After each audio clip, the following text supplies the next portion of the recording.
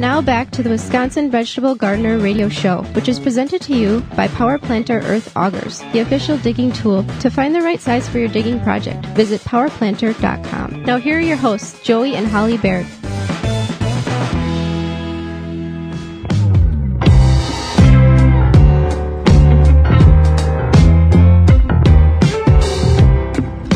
Welcome back to the Wisconsin Vegetable Gardener Radio Show. We'll go to the hotline and bring on our guest this week. Karen Chapman of Le Jardinet is a lifelong gardener. She is also an author, speaker, landscape designer, instructor, and writer.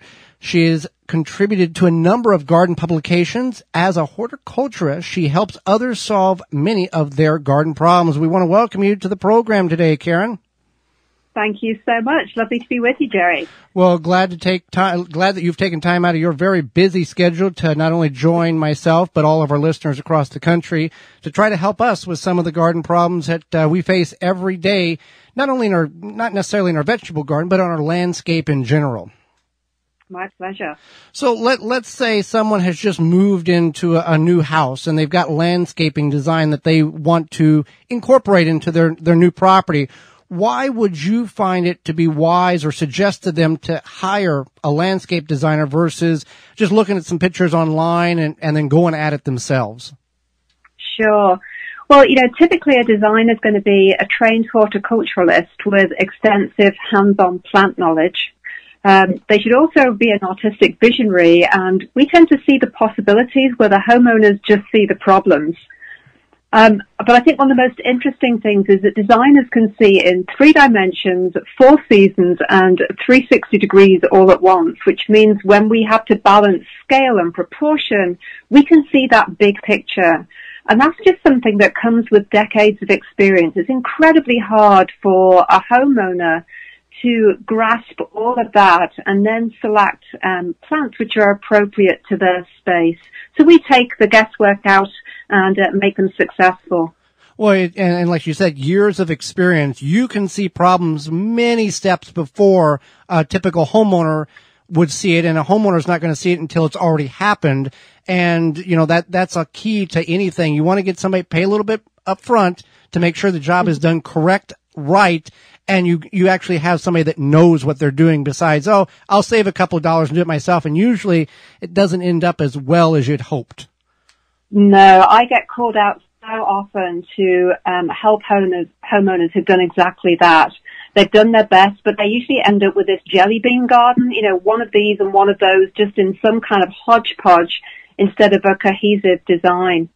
I'd say the other thing that um, designers can do is actually help um, families or couples discuss their invariably very different wish lists. Although I do make the point of saying that I charge extra for marriage counselling. um, you know, you, you have a little bit of negotiation to do there as well. Uh, absolutely. Well, let, us talk about your book, Deer Resistant Design. It's, it is very helpful. What is deer resistant? Uh, what, what is a deer resistant design? What is it not? I think that's a key part of this question. And what is a great tip in which you would be willing to share with all of us in that, that's in that book? Sure. I was excited to write this book because trust me, I needed the book. That's why it got written. Um, you know, deer resistant design is one that thrives despite the presence of deer, but without resorting to fences.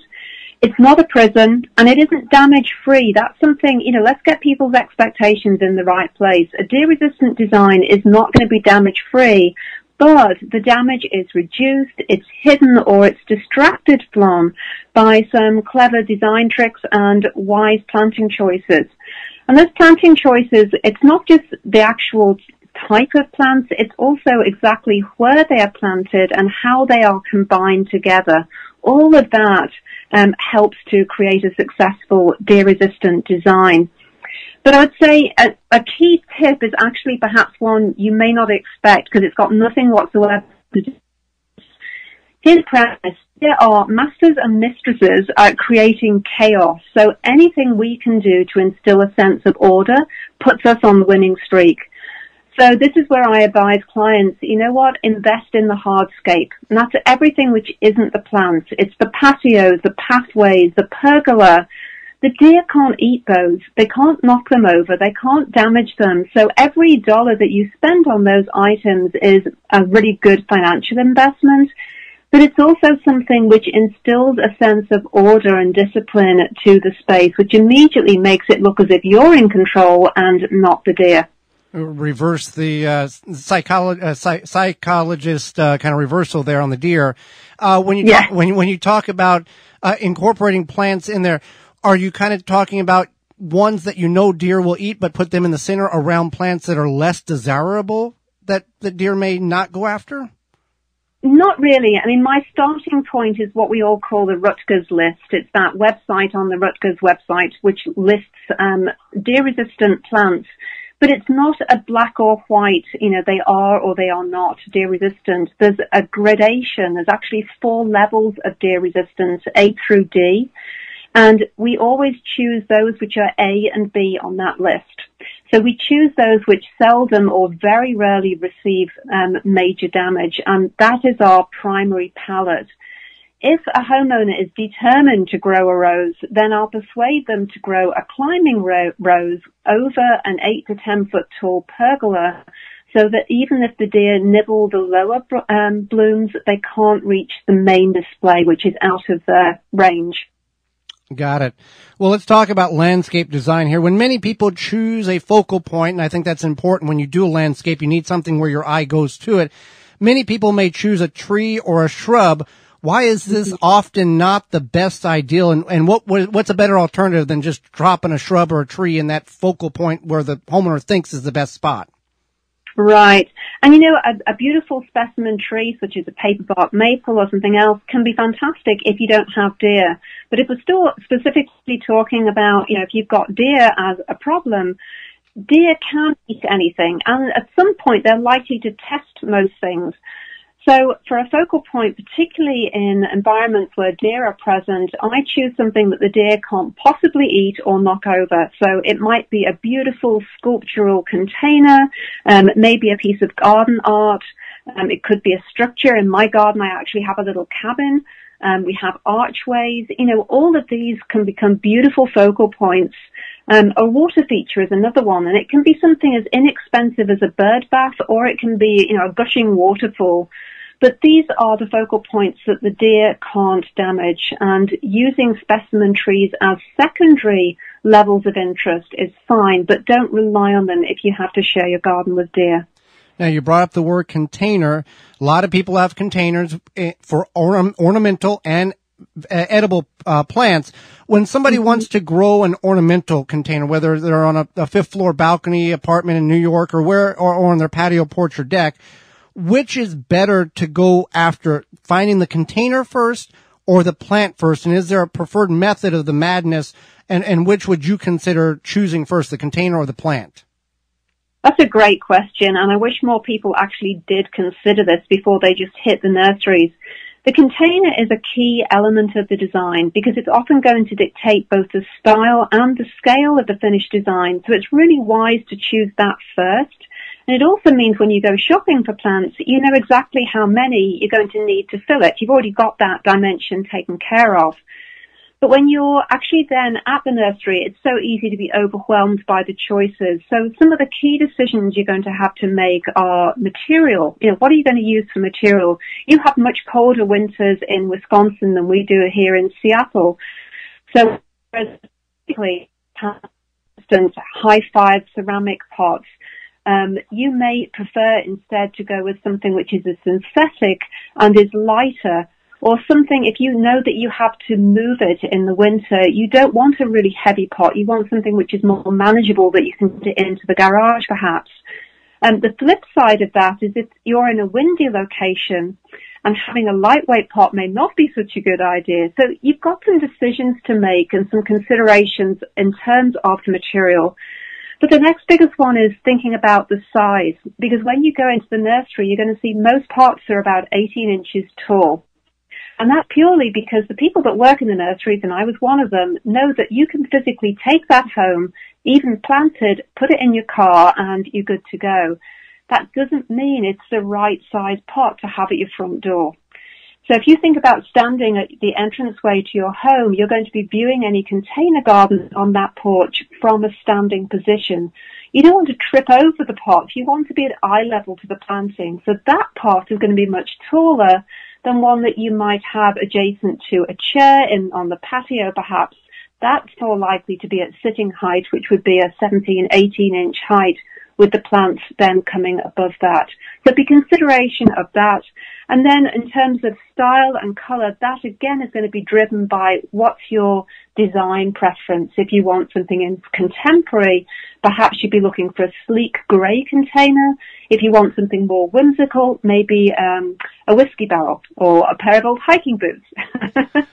well, uh, doing the container first, and that gives you a little more self control because you're, uh, like you said, you're not buying a dozen and a half plants for a place that only can, that you can really realistically grow four. And then you got to figure out what you've gone, done with these other ones. And you probably spent money and they're going to die because you ain't got nowhere to put them. Yes, and then you'll do the inevitable, inevitable walk around the garden with plants in hand, trying to decide where it is you're going to put them. Yes, I've seen a lot of people do that. absolutely. Well, many people are spending a lot of time at home now, whether they want to or not, and they realize they may need some type of separation between neighbors. Now, whether this be a, uh, you, when you may need a foliage screen or perhaps, uh, uh, uh for, to protect from the neighbors, uh, seeing what's going on in your backyard and or, uh, and a fence isn't a desirable choice. What can we plant in most areas of the country now versus spring to help us develop that, perimeter and barrier to keep uh, neighbors' eyes off of what we're doing or just give us a little privacy. Absolutely. Yeah, it's been really interesting as homeowners, as you say, are now home during the times of day when perhaps they weren't previously. There is definitely an increased sense of the need for a, a private oasis. But honestly, you know, we are now in midsummer and so I would not personally recommend planting major screening trees at this point in the year unless you've got a professionally designed irrigation system and are really sure you can keep it watered. I will give you um, and your listeners a tip. If you desperately have to get a tree in the ground right now, here's what I do, and I've been 100% successful with this.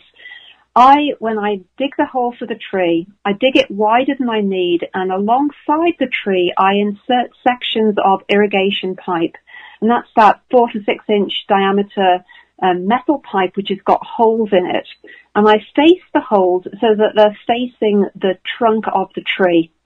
So they're right down in the planting hole at the same level of the bottom of the root ball and they protrude above the soil level about two inches. You then backfill as usual and when it comes time to water, you pour water directly down those irrigation pipes so the water goes straight down to where the roots are. If you try just standing there with a hose pipe and water a big balled and burlap tree that you've just planted, it is incredibly difficult to get the water to saturate down deep enough and even harder to know if you've got it right. So if that's something you have to do, then do that. But in terms of, of screening, you know, I would challenge um, folks to think beyond the ubiquitous hedge. You know, arborvitae, they're as common with you as they are with us, and probably the most boring plant material on earth, you know, why not mix it up a bit? This is a great time for uh, listeners to assess, do I really need evergreen seasoning, uh, seasoning, uh, screening year round, or is it just a problem in summer? Do I need it at a six foot height, or actually is my problem really up to 20 feet tall because it's a second story looking down on me? Then you can start to do some layering. You can intersperse things like columnar junipers or the arborvitae Perhaps with broadleaf plants such as privet, you can layer into that columnar deciduous trees like the Armstrong maple, which is fabulous. And then layer in front of that beautiful, colourful spirea or weigela or ninebark so that you end up with this beautiful layered garden that really wraps itself around you rather than creating something like the arborvitae, which can very quickly look like prison bars around the perimeter of a property um, that really isn't a good look. Well, and you bring up a very important uh, aspect of it, the watering portion, not even just for a tree, but even in these ornamental containers in the front of your house. If they're dry, it, a little water is not going to fix it. You've got to saturate the soil. You would be, people are amazed at how much water it takes to actually rehydrate soil that has completely dried out. A gallon or two is not going to fix the problem. You've got to really work at it to get those that soil back where it is actually healthy for the plant. That's right. And with container gardens, I always advise people to water slowly and steadily. Put it on a shower setting. You're not trying to jet wash them. Put on a shower setting. Do it slowly until the water runs out of the drainage holes at the bottom because the roots aren't going to grow where the soil is dry.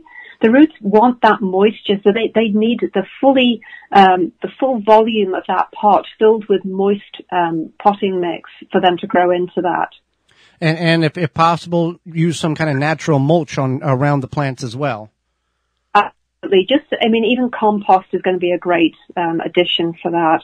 Well, Karen, a lot of great information we've packed into a very short period of time. How can people find more about you? How can they get a hold of your books? Uh, my website is lejardinetdesigns.com and that's going to take you to my blog, event listings, all my books, uh, newsletter. You'll find out about online courses, garden tours I lead, and a whole load more. Um, Le Jardinet is also on Facebook. And to be honest, if you just type in Karen Chapman, garden designer, you'll find about the first 70 hits are me. So I'm pretty easy to find. A lot of, lot of good information. And, and now's the time that people kind of need to evaluate what their, what their goals are because uh, as we're in 2020 and, and beyond, things may not change as much as we uh, hope they to be. And, and you, we may be home more than we're not. Yeah, that's very true. Well, thank you very much, Karen. We greatly appreciate you offering your time not only to us, but our listeners across the country. My pleasure. Take care. For more information, please visit the WisconsinVegetableGardener.com.